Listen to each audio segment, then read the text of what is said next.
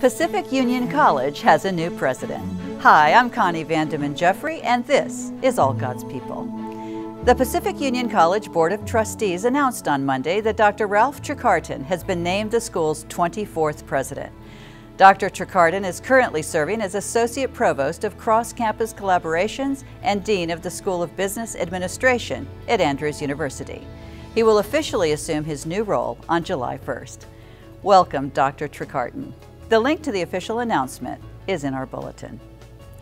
There's nothing like a beautiful older lady to make me smile. This Mother's Day, dozens of people drove by the church in Chico, California to celebrate one woman's incredible life. Frances Cavanis Leyland, better known as Frankie, has lived in Chico for nearly 70 years. After traveling the world with her late husband as a missionary, she has seen and done a lot. But Tuesday, May 11, was a day not many people get to celebrate. Frankie turned 100 years old. It's exciting when you think about it, she beamed. 100 years.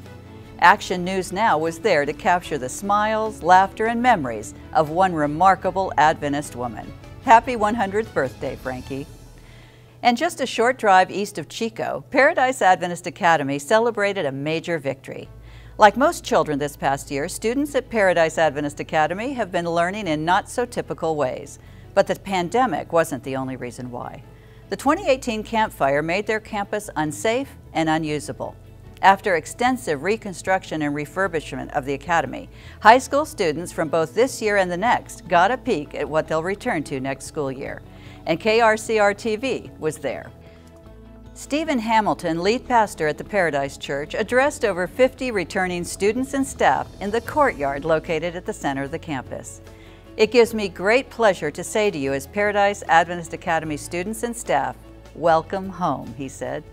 Students spent the day touring the upgraded facilities that have been in the works for two years. While classes will not be held here until August 2021, it was the first time the student body has physically been together since 2018.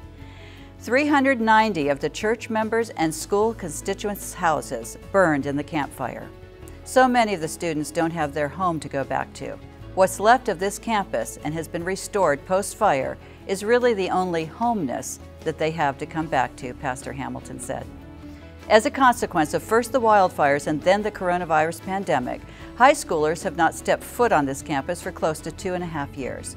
State and county COVID-19 guidelines allowed the elementary school to return to in-person teaching there in September 2020. As PAA Principal Monty Nystrom said, it's a new beginning. Registration is now open for the 2021-2022 school year. Check out the school's website. The link is in our bulletin. Memorial Day is a federal holiday observed yearly on the last Monday of May. Memorial Day is a day that commemorates all men and women who have died while serving in the military for the United States of America. Traditionally, it is viewed as a time of honor and remembrance. Throughout the United States, it's common to visit cemeteries, particularly military ones, and decorate graves of the deceased with flowers, small flags, and wreaths. The observance of Memorial Day in the United States dates back to the Civil War and focused on honoring the war dead of both the Union and the Confederacy, by laying flowers of the springtime on the graves of those whose lives had been lost from both sides. The honors demonstrated on Memorial Day helped bring the divided country together. As we honor our heroes, may we also be mindful of the wounds that divide our country and should be healed. Jesus said, Greater love hath no man than this, that a man lay down his life for his friends. A great verse for this Memorial Day weekend 2021.